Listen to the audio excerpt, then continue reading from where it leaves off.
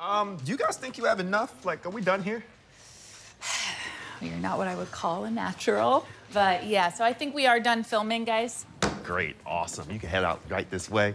So, oh, my bad. You the doc crew. You're the one with the bird tattoo, not the snake. You can stay, but y'all can dip like guacamole. Come on now. There it is. Okay, the door is right down this hallway. I'm gonna.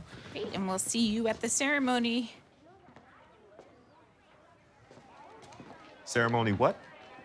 Well, there's a ceremony, of course. There's food, drinks, spoken word poem, children's choir. From Abbott. Oh, God, I hope not. Oh, bonus. We have one of your fellow teachers who's going to present the award to you herself. Hmm. Who are you talking about? Miss Schemmenti, to deliver a, a speech about your outsized accomplishments, which I'm um, sure. Can we get another teacher to do it? Like literally anybody else. Maybe I could even present it to myself.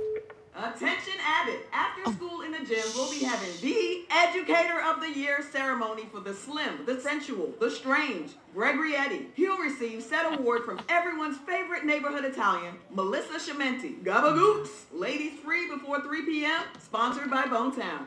Ow, ow. What the hell's going on? Melissa, I'm sorry, I had no idea. Okay, why me? So, we like to have a diverse, kaleidoscopic POV to bridge the gap between culture and education. What this white lady is saying is they want a white lady to do it because y'all been acting up this year. Yes, thank you so much.